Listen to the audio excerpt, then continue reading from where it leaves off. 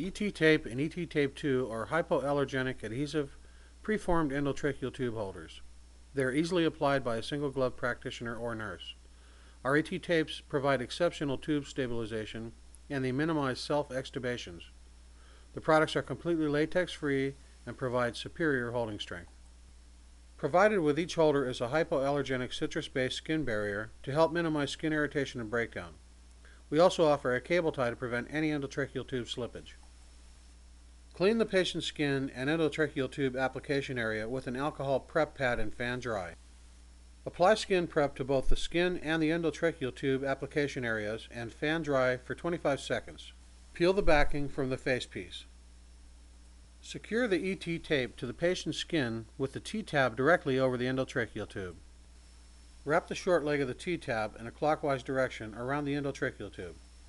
Tightly wrap the long leg of the T-tab in a counterclockwise direction overlapping the short leg.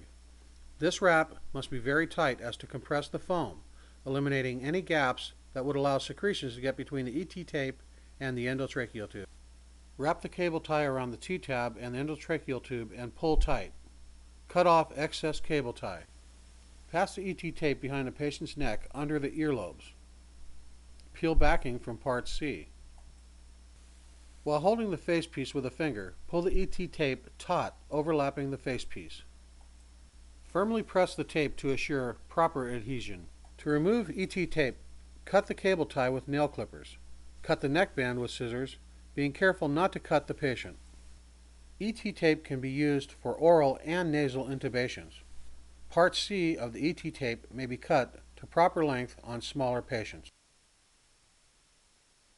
Once the ET tape is properly applied, periodically inspect it for loss of adhesion on the face and endotracheal tube, and replace immediately if this occurs.